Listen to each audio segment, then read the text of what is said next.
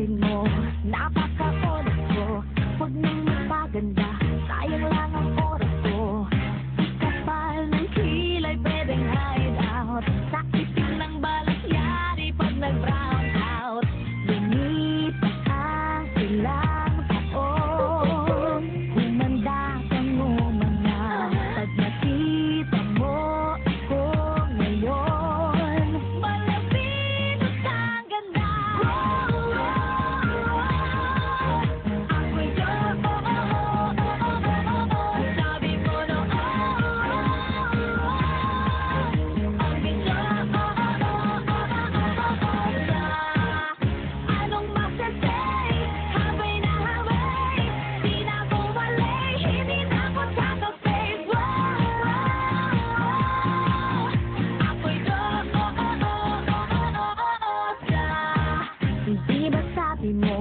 di loko ay pano Forma ko ay banobo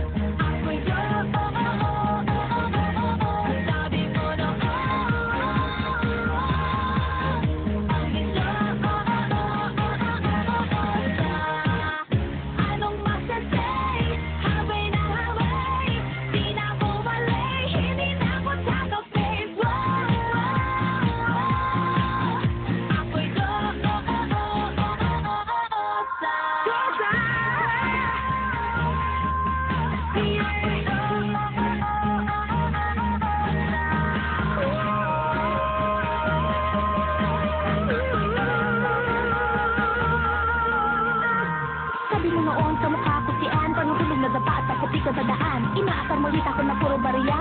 Pwede nang babangon at tulugan pa. Pero ba ngayon ay nabibihani?